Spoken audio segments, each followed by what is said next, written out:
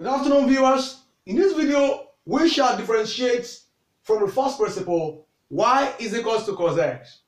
I'm the same person, Dr. OJ.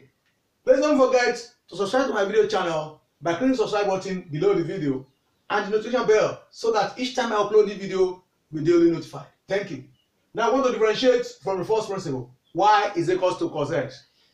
Now, if this y is equals to cos x is our equation 1, now adding the constant uh, delta y to y is equal to cos x plus uh, delta x.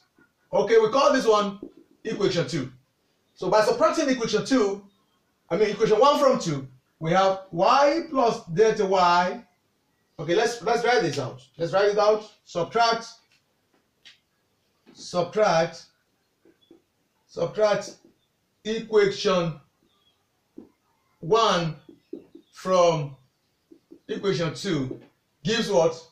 y plus delta y minus y is equal to cos x plus delta x minus cos uh, x.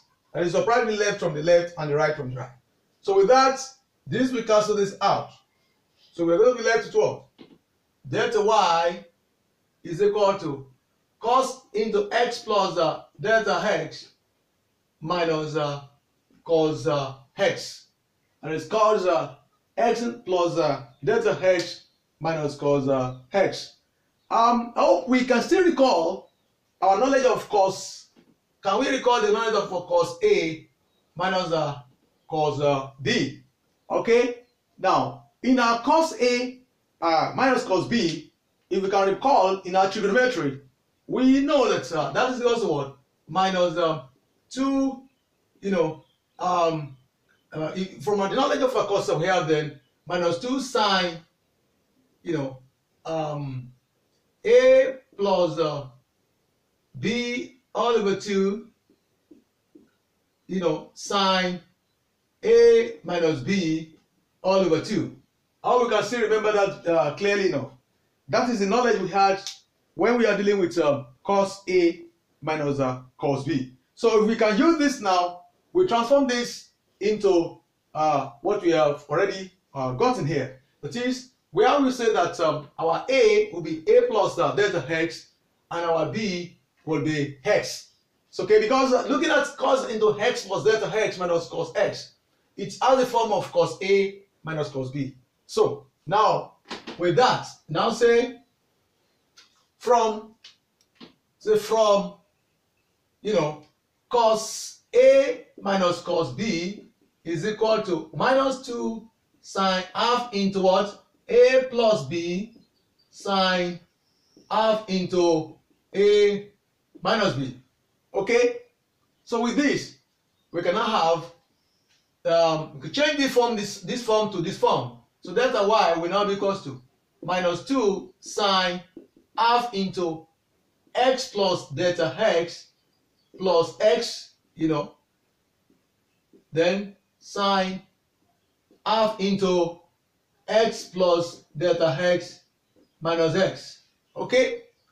So with this, we will have delta y will be equal to minus 2 sine half into 2x plus uh, delta x you know, because x plus x is uh, 2x plus delta x sine half into what? Into delta x. Okay? Because x minus x is 0. Okay? So with that, with that, so what are we going to have? Let's go ahead. So we're going to have what?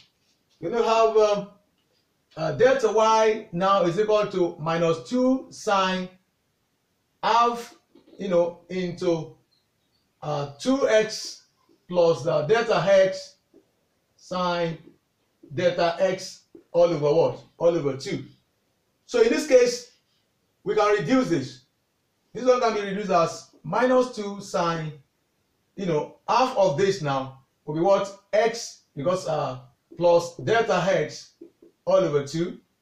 Okay, sine delta x all over all over 2. Okay, now with this, we have um, simplified uh, that. Okay, in this case now, we can do something. Yes, we can do something. So what can we do here? Now let's now introduce divide, div, dividing both sides by delta x. So we can say dividing dividing both sides by delta x. By the time we do that, we have delta y all over delta x, you know, is equal to minus 2 sine, you know, x plus delta x all over 2 sine delta x all over 2 all over delta x. Okay? I hope we understand. Yes. Okay. So invariably, we can equally write that this one can be equivalent to this particular statement can be equivalent to what? Let's look at how it can be equivalent to. So as we remove the minus 2 here, so we can now say delta y, delta x all over delta x can be what? Minus sine x plus delta x all over 2 sine delta x all over 2 all over delta x all over 2. Yes. So the 2 here can be brought here. Okay? That is that is this this particular statement is equivalent to this. Okay? So by the time you divide this by this, these two will come back here. All right.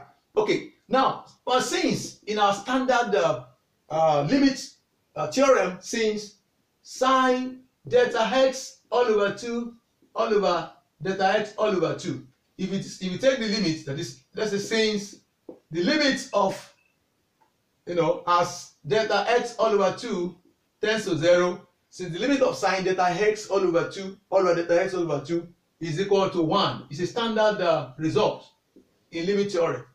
It's just like saying that sine, if you take sine x all over x, the limit of sine x over x is 1. So if the limit of sine x over x is 1, the limit of sine delta x all over 2 all over delta x all over 2, this is a standard, uh, you know, a standard result in the limit uh, theorem. Okay, it's a standard result in limit theorem.